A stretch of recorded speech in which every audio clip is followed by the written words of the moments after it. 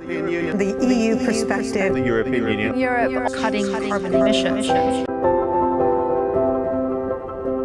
Agriculture. It's a huge contributor to the climate change that the Earth faces today.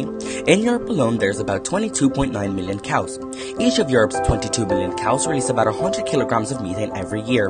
And methane has an even bigger impact on Earth, about 23 times more than carbon dioxide.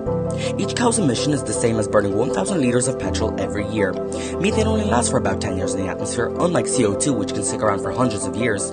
The good news is, is there a way for cows to produce less methane, and that will result in a fast drop in greenhouse gases. By feeding cows seaweed, it's more economical and cows produce less methane on the seaweed diet. With research, a discovery was made that a certain red seaweed called Asparagopsis taxiformis reduced methane to nearly 0%. This will be a major win in the battle against climate change, and if farmers start feeding their cows with a mix of seaweed, it would be like taking millions of cars off the road.